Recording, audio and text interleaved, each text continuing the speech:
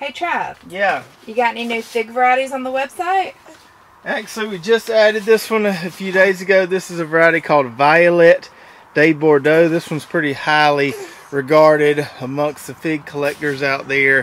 Has a really kind of tart berry flavor to it. Completely different than a sugar fig like a brown turkey celeste, something like that. So if you've never tried a berry fig or you want to try a berry fig, this is a great one to try. Really good tasting fig. They don't get huge, but they're really tasty and they give you several rounds of production throughout the year.